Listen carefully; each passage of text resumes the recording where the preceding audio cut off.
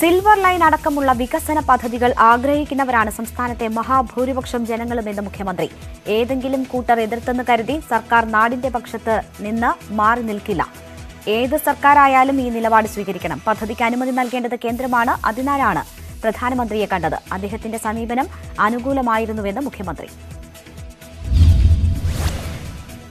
Silver line survey നടക്കുന്ന ഭൂമിയുടെ ഉടമകൾക്ക് ബാങ്ക് വായ്പ തടയരുതെന്ന് ധനമന്ത്രി K N Balagopal.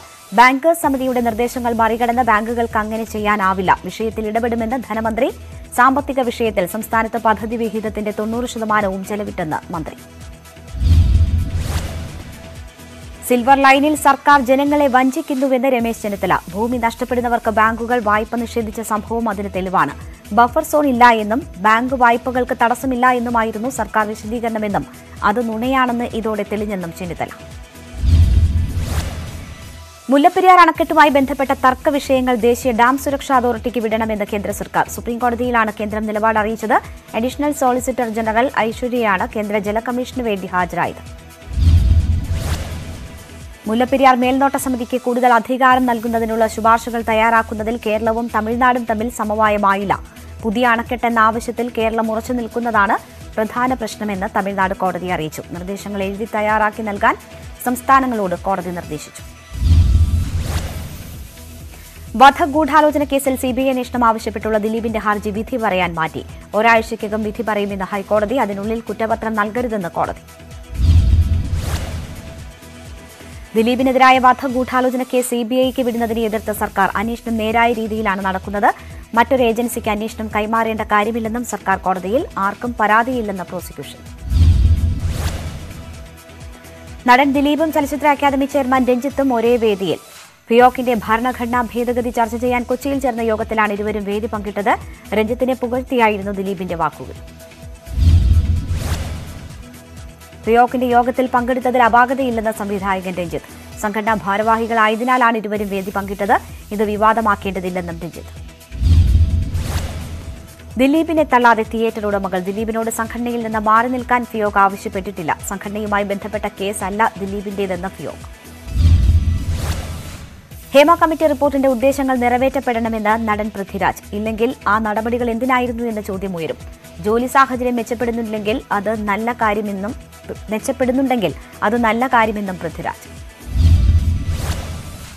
O T T സംബന്ധിച്ച് ദുൽഖറുമായുള്ള പ്രശ്നം പരിഹരിച്ചെന്ന ഫിയോക് ദുൽഖറിന്റെ സിനിമകൾ പ്രദർശിപ്പിക്കും. എന്നാൽ തിയേറ്റർ റിലീസ് കഴിഞ്ഞ നാൽപ്പത്തിരണ്ട് ദിവസത്തിന് ശേഷമേ ഒ ടി ടി പ്ലാറ്റ്ഫോമിലേക്ക് സിനിമ പോകാവൂ എന്ന് തിയേറ്റർ ഉടമകൾ. തിരുവനന്തപുരം ചാക്കയിൽ മരിച്ച നിലയിൽ കണ്ടെത്തിയ കൊലക്കേസ് പ്രതിയെ കൊലപ്പെടുത്തിയതാണെന്ന് പോലീസ്. കാരാളി അനൂപ് വധക്കേസ് പ്രതി സുമേഷാണ് കൊല്ലപ്പെട്ടത്. ഇന്നലെ രാത്രിയാണ് സുമേഷിനെ പരിക്കേറ്റ് റോഡരികിൽ കണ്ടെത്തിയത്.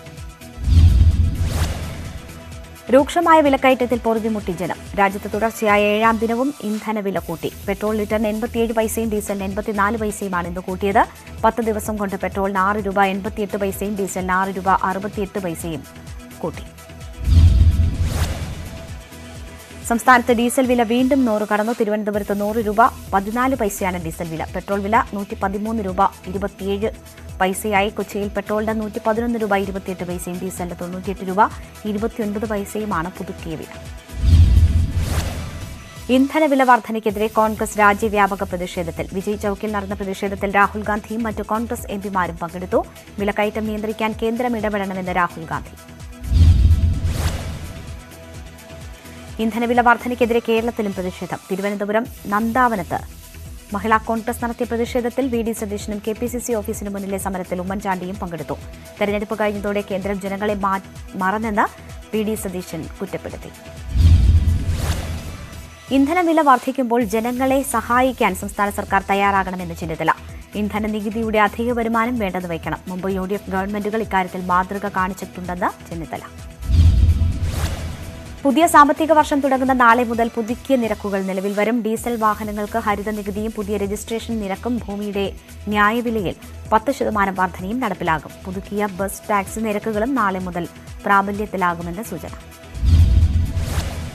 സംസ്ഥാനത്ത് ബസ് ചാർജ് വർധന നിലവിൽ വരുന്നതോടെ ദീർഘദൂര യാത്രയ്ക്ക് ചെലവേറും. മിനിമം ചാർജ് പത്ത് രൂപയും കിലോമീറ്ററിന് ഒരു രൂപയുമാക്കിയാണ് നിരക്ക് കൂട്ടിയത്. മിനിമം ചാർജ് എട്ടിൽ നിന്ന് പത്തായതോടെ ഫെയർ സ്റ്റേജിലും കാര്യമായ വർധനയുണ്ടാകും.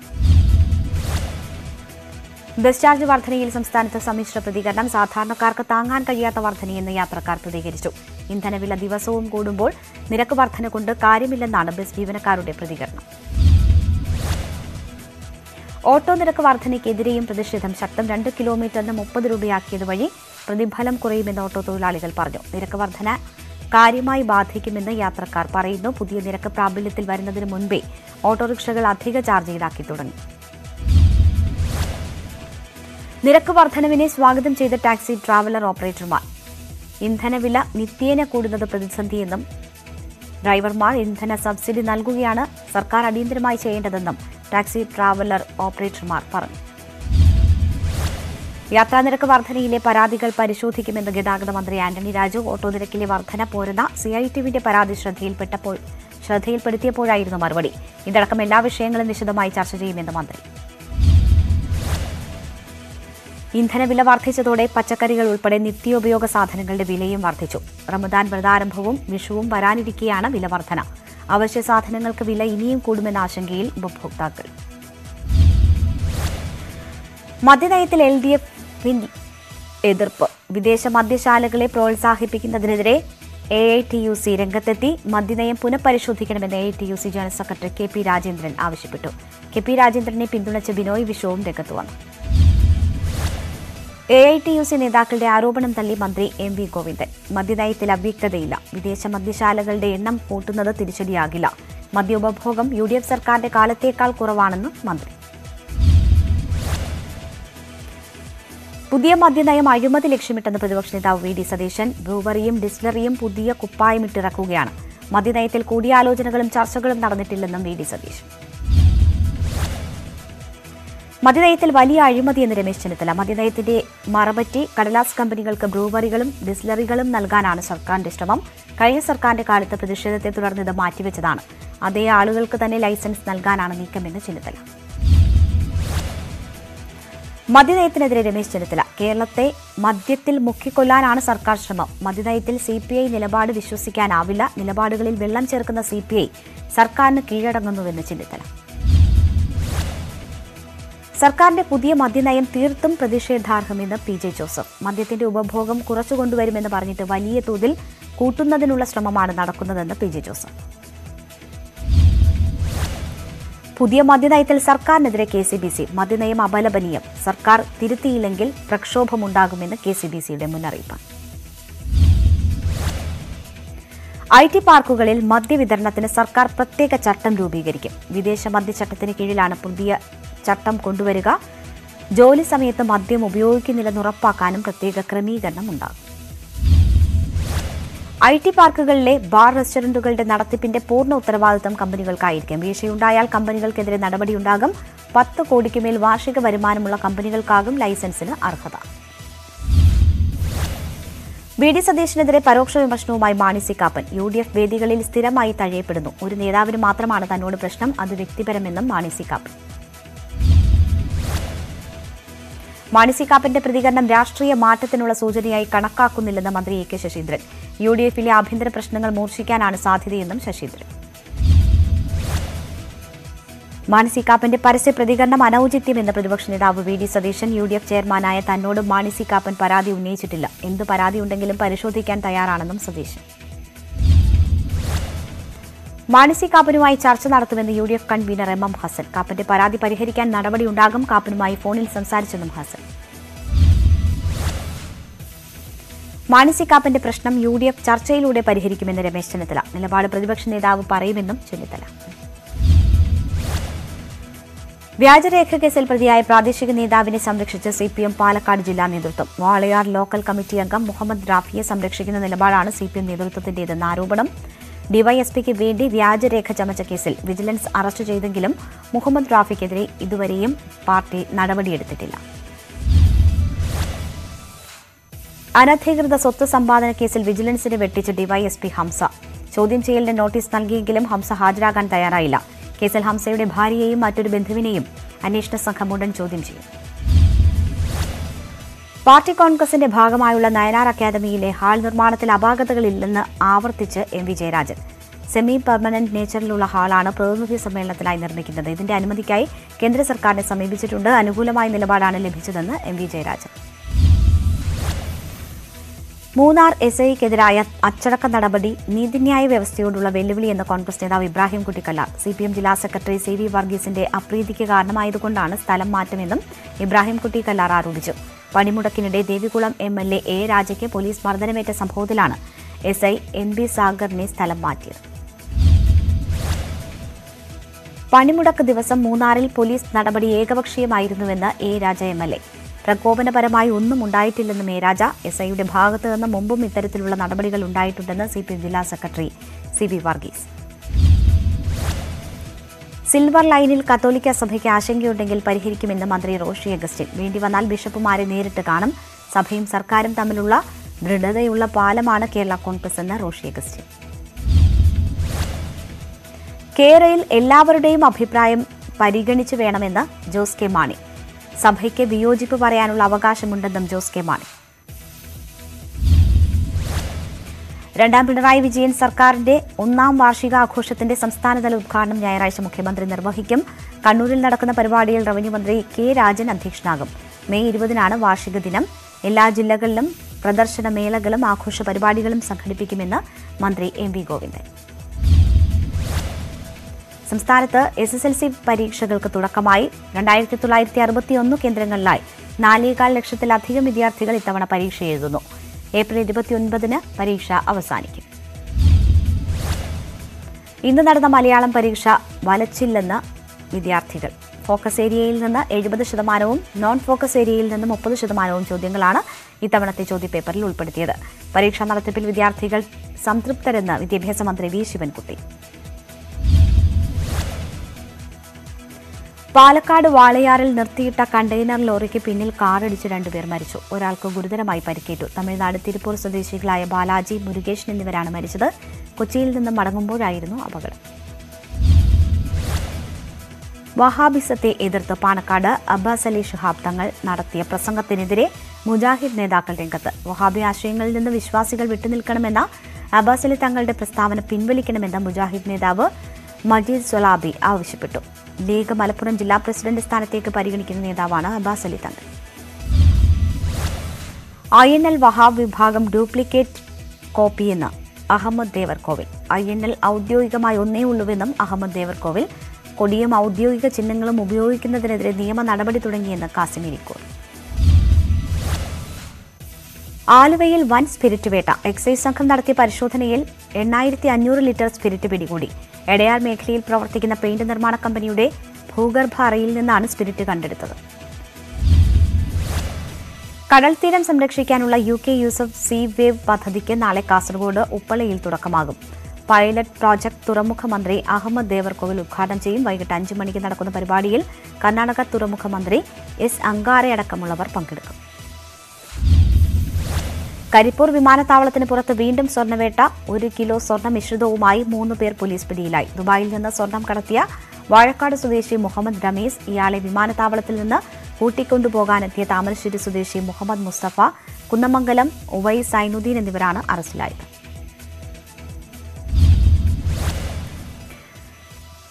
കോവിഡ് നിയന്ത്രണങ്ങൾ നീക്കി മഹാരാഷ്ട്ര. കോവിഡ് മാനദണ്ഡങ്ങൾ എടുത്തു മാറ്റി സർക്കാർ ഉത്തരവിറക്കി മാസ്ക് ധരിക്കണമെന്ന നിബന്ധന ഒഴിവാക്കി. ആൾക്കൂട്ട നിയന്ത്രണങ്ങളും ഇനിയുണ്ടാവില്ല. കടുത്ത സാമ്പത്തിക പ്രതിസന്ധി നേരിടുന്ന ശ്രീലങ്കയ്ക്ക് സഹായം നൽകാൻ തമിഴ്നാടിനെ അനുവദിക്കണമെന്ന് മുഖ്യമന്ത്രി എം കെ സ്റ്റാലിൻ. ഇക്കാര്യം ആവശ്യപ്പെട്ട് പ്രധാനമന്ത്രിയെ കണ്ടു. ഡൽഹിയിലെത്തിയ സ്റ്റാലിൻ നേരത്തെ കോൺഗ്രസ് അധ്യക്ഷ സോണിയാഗാന്ധിയുമായും കൂടിക്കാഴ്ച നടത്തി. സ്റ്റാലിനെ പുകഴ്ത്തിയ C P M general secretary Sitaram Yechury. B J P ഇതര സർക്കാരുകളുള്ള സംസ്ഥാനങ്ങളിലെ ഏറ്റവും സ്വീകാര്യനായ മുഖ്യമന്ത്രി എം കെ സ്റ്റാലിനാണ്. ബി ജെ പിക്കെതിരായ പ്രതിപക്ഷ നിരയിലെ കരുത്തനാണ് സ്റ്റാലിനെന്ന് യെച്ചൂരി. വടക്കു കിഴക്കൻ സംസ്ഥാനങ്ങളിൽ പ്രത്യേക സൈനിക അധികാര നിയമം അബ്സ്- അബ്സ്പയുടെ നിയന്ത്രണ പരിധി കുറച്ച് കേന്ദ്ര സർക്കാർ നാഗാലാന്റ് അസം മണിപ്പൂർ എന്നീ സംസ്ഥാനങ്ങളിലാണ് ഇളവ്. മണിപ്പൂർ ജനതയ്ക്ക് ഇത് ചരിത്ര നിമിഷമെന്ന് മുഖ്യമന്ത്രി എൻ. ബിരേൻ സിംഗ്. അരവിന്ദ് കെജ്രിവാളിന്റെ വീട് ആക്രമിച്ച സംഭവത്തിൽ പ്രത്യേക അന്വേഷണം വേണമെന്ന ആവശ്യം Aam Aadmi party M L A Saurabh Bharadwaj Delhi ഹൈക്കോടതിയെ സമീപിച്ചു. വിരമിച്ച ജഡ്ജിയുടെ അധ്യക്ഷതയിൽ പ്രത്യേക അന്വേഷണ സംഘം രൂപീകരിക്കണം. തെളിവുകൾ നശിപ്പിക്കാതിരിക്കാൻ ഇത്രയും വേഗം അന്വേഷണം ആരംഭിക്കണമെന്നും ഹർജിയിൽ ആവശ്യം. കർണാടകയിൽ ഹിജാബ് ധരിച്ച എസ് എസ് എൽ സി പരീക്ഷ എഴുതാൻ വിദ്യാർത്ഥികളെ അനുവദിച്ച അധ്യാപകർക്ക് suspension. Gadag C S Patil girls ഹൈസ്കൂളിലെ ഏഴ് അധ്യാപകരെയാണ് സസ്പെൻഡ് ചെയ്തത്. പരീക്ഷയ്ക്ക് യൂണിഫോം നിർബന്ധമാക്കിയ ഉത്തരവ് ലംഘിച്ചതിനാണ് നടപടിയെന്ന് അധികൃതർ. വിരമിക്കുന്ന എംപിമാർക്ക് രാജ്യസഭ യാത്രയയപ്പ് നൽകി. അടുത്ത മൂന്ന് മാസത്തിനകം വിരമിക്കുന്ന എഴുപത്തിരണ്ട് എംപിമാർക്കാണ് യാത്രയയപ്പ് നൽകിയത്. വിരമിക്കുന്ന അംഗങ്ങൾ തിരിച്ചെത്തണമെന്നും അറിവിനേക്കാൾ വലുതാണ് അനുഭവ സമ്പത്തെന്നും പ്രധാനമന്ത്രി നരേന്ദ്രമോദി. വിവാദ മതപ്രഭാഷകൻ സാക്കിർ നായിക്കിന്റെ സംഘടനയ്ക്കുള്ള വിലക്ക് അഞ്ച് വർഷത്തേക്ക് കൂടി കേന്ദ്ര സർക്കാർ നീക്കി. സാക്കിർ നായിക്കിന്റെ ഇസ്ലാമിക് റിസർച്ച് ഫൗണ്ടേഷനെ നിയമവിരുദ്ധ സംഘടനയായി പ്രഖ്യാപിച്ചുകൊണ്ടാണ് വിലക്ക് നീട്ടിയത്. രണ്ടായിരത്തി പതിനാറ് നവംബർ പതിനേഴിനാണ് ഫൗണ്ടേഷനെതിരെ യു എ പി എ അടക്കമുള്ള കുറ്റങ്ങൾ ചുമത്തി വിലക്ക് ഏർപ്പെടുത്തിയത്. പാൻ കാർഡ് ആധാറുമായി ബന്ധിപ്പിക്കാനുള്ള സമയപരിധി നീട്ടി കേന്ദ്ര സർക്കാർ. അടുത്ത വർഷം മാർച്ച് മുപ്പത്തിയൊന്ന് വരെയാണ് സമയം അനുവദിച്ചത്. നാളെ സമയപരിധി അവസാനിക്കാനിരിക്കെയാണ് ധനകാര്യ മന്ത്രാലയത്തിന്റെ തീരുമാനം. മോഷണക്കുറ്റം ആരോപിച്ച യുവാവിനെ നാട്ടുകാർ തലകീഴായി കെട്ടിത്തൂക്കി മർദ്ദിച്ചു. ബീഹാറിലെ കത്തിഹാറിലാണ് സംഭവം. ബൈക്ക് മോഷ്ടിച്ചെന്നാരോപിച്ചാണ് സുമൻ കുമാർ റായ് എന്നയാളെ നാട്ടുകാർ മർദ്ദിച്ചത്. സമൂഹ മാധ്യമങ്ങളിൽ വീഡിയോ പ്രചരിച്ചതോടെ പോലീസ് സ്വമേധയാ കേസെടുത്ത് അന്വേഷണം തുടങ്ങി. മുൻകൂർ നോട്ടീസ് നൽകാതെ അക്കൌണ്ടുകൾ സസ്പെൻഡ് ചെയ്യാൻ സമൂഹ മാധ്യമങ്ങൾക്ക് അധികാരമില്ലെന്ന് കേന്ദ്രം. പൌരന്റെ മൌലികാവകാശങ്ങൾ സമൂഹ മാധ്യമങ്ങൾ മാനിക്കണമെന്നും ഐ ടി മന്ത്രാലയം വ്യക്തമാക്കി. അക്കൌണ്ട് സസ്പെൻഡ് ചെയ്തതിനെതിരെ ഡൽഹി ഹൈക്കോടതിയിൽ രണ്ടുപേർ നൽകിയ ഹർജിയിലാണ് ഐ ടി മന്ത്രാലയം നിലപാട് വ്യക്തമാക്കിയത്. ബാങ്കിൽ അംബേദ്കറിന്റെ ചിത്രം തൂക്കിയതിന് പുറത്താക്കിയ ജീവനക്കാരനെ എസ് ബി ഐ തിരിച്ചെടുക്കണമെന്ന് മദ്രാസ് ഹൈക്കോടതി. അടയാർ ശാഖയിൽ നിന്നും രണ്ടായിരത്തി നാലിൽ പുറത്താക്കിയ ഗൌരിശങ്കർ എന്നയാളെ ആനുകൂല്യങ്ങളോടെ തിരിച്ചെടുക്കാനാണ് ഉത്തരവ്. അനുമതിയില്ലാതെ ചിത്രം തൂക്കിയതിനായിരുന്നു ബാങ്കിന്റെ നടപടി. ശ്രീലങ്കയിൽ സാമ്പത്തിക പ്രതിസന്ധി അതിരൂക്ഷമായി തുടരുന്നു. മരുന്നും ഭക്ഷണവും അടക്കം അവശ്യ സാധനങ്ങൾ പോലും കിട്ടാനില്ലാതെ ജനങ്ങൾ ദുരിതത്തിൽ. വിദേശ നാണ്യശേഖരം കുറഞ്ഞതിനെ തുടർന്നുണ്ടായ പ്രതിസന്ധി പരിഹരിക്കാൻ ശ്രീലങ്കൻ ഭരണകൂടം ചർച്ചകൾ തുടരുകയാണ്. പ്രതിഷേധ സമരങ്ങളുടെ ഭാഗമാകാൻ ജനങ്ങളോട് പ്രതിപക്ഷ പാർട്ടികൾ ആഹ്വാനം ചെയ്തു റഷ്യ യുക്രൈൻ സമാധാന ചർച്ചകൾ നാളെ പുനരാരംഭിക്കും. പുടിനും സെലൻസ്കിയും തമ്മിൽ നേരിട്ട് കൂടിക്കാഴ്ച നടത്താനുള്ള നീക്കം പുരോഗമിക്കുന്നു. സമാധാന ഉടമ്പടിയിൽ കൂടുതൽ വ്യക്തതയുണ്ടാവണമെന്ന നിലപാടിൽ റഷ്യ. സൈന്യത്തെ പിൻവലിക്കുമെന്ന റഷ്യയുടെ ഉറപ്പ് വാക്കുകളിൽ മാത്രമെന്ന് സെലൻസ്കി. റഷ്യൻ യുദ്ധം അവസാനിപ്പിക്കാൻ ഇന്ത്യ ഇടപെടണമെന്ന് വീണ്ടും യുക്രൈൻ. മധ്യസ്ഥ ചർച്ചയ്ക്ക് മോദി തയ്യാറെങ്കിൽ സ്വാഗതം ചെയ്യുന്നുവെന്ന് യുക്രൈൻ വിദേശകാര്യമന്ത്രി ദിമിത്രോ കുളി പറഞ്ഞു. പുടിനുമായി സംസാരിക്കാൻ സഹായം അഭ്യർത്ഥിക്കുന്നുവെന്നും യുക്രൈൻ വിദേശകാര്യമന്ത്രി. കീവിലും ചെർണേവിലും റഷ്യൻ ആക്രമണം ശക്തം. ചെർണേവിൽ വീടുകളും കെട്ടിടങ്ങളും തകർന്നു. ഡൊണസ്ക് മേഖലയിലും കനത്ത ആക്രമണം തുടരുകയാണ്. മെക്കലോവിൽ മിസൈൽ ആക്രമണത്തിൽ മരിച്ചവരുടെ എണ്ണം പതിനാലായി. പുടിനെ ഉപദേശകർ തെറ്റിദ്ധരിപ്പിക്കുന്നുവെന്ന് അമേരിക്ക. റഷ്യൻ സൈന്യത്തിന് യുക്രൈനിൽ നേരിടേണ്ടി വരുന്ന തിരിച്ചടികളെക്കുറിച്ച് ഉപദേശകർ പുടിനെ അറിയിക്കുന്നില്ല. യുക്രൈൻ വിഷയത്തിൽ റഷ്യയ്ക്ക് നയതന്ത്രപരമായ പിഴവ് സംഭവിച്ചുവെന്നും വൈറ്റ് ഹൌസ് ഖത്തർ ലോകകപ്പ് ഫുട്ബോളിലെ ഗ്രൂപ്പ് ഘട്ട ടീമുകളെ തീരുമാനിക്കാനുള്ള നറുക്കെടുപ്പ് നാളെ നടക്കും. ഏറ്റവും പുതിയ ഫിഫ റാങ്കിംഗ് അടിസ്ഥാനപ്പെടുത്തിയാകും യോഗ്യത നേടിയ ടീമുകളുടെ സീഡ് നിശ്ചയിക്കുക. ടോപ്പ് സീഡിലുള്ള എട്ട് ടീമുകൾക്ക് ആദ്യ പോട്ടിൽ ഇടം ലഭിക്കും. ഖത്തർ ലോകകപ്പിനുള്ള പ്രത്യേക പന്ത് അൽ റഹ്ല അഡിഡാസ് പുറത്തിറക്കി. ലോകകപ്പുകളുടെ ചരിത്രത്തിലെ ഏറ്റവും വേഗമേറിയ പന്ത് എന്ന ടാഗ് ലൈനോടെയാണ് അൽ റഹ്ല പുറത്തിറക്കിയത്. സൗദി അറേബ്യൻ സംസ്കാരത്തിൽ നിന്ന് പ്രചോദനം ഉൾക്കൊണ്ടാണ് പന്ത് നിർമ്മിച്ചിരിക്കുന്നത്. ടൊയോട്ടയുടെ കോൾ ന്യൂ ഗ്ലാൻസ പുറത്തിറക്കി തിരുവനന്തപുരം ഈഞ്ചക്കലിലെ നിപ്പോൺ ടൊയോട്ട ഷോറൂമിൽ sales and marketing senior vice president Eldho ബെഞ്ചമിനാണ് വാഹനം പുറത്തിറക്കിയത്. Sales general manager Hariprasad service general manager Ajith Kumar തുടങ്ങിയവർ പങ്കെടുത്തു. ജീപ്പിന്റെ seven seater S U V Meridian Indian വിപണിയിൽ അവതരിപ്പിച്ചു. ജൂണിലാണ് വിതരണം തുടങ്ങുക. അറുപതിലധികം സുരക്ഷാ ഫീച്ചറുകളുള്ള വാഹനത്തിന്റെ വിലയടക്കമുള്ള വിവരങ്ങൾ കമ്പനി പുറത്തുവിട്ടിട്ടില്ല. ന്യൂസ് എയ്റ്റീൻ എക്സ്പ്രസ് പൂർണമാകുന്നു. നമസ്കാരം. കൂടുതൽ വാർത്തകൾക്കും വിശദാംശങ്ങൾക്കും Malayalam dot news eighteen dot com സന്ദർശിക്കും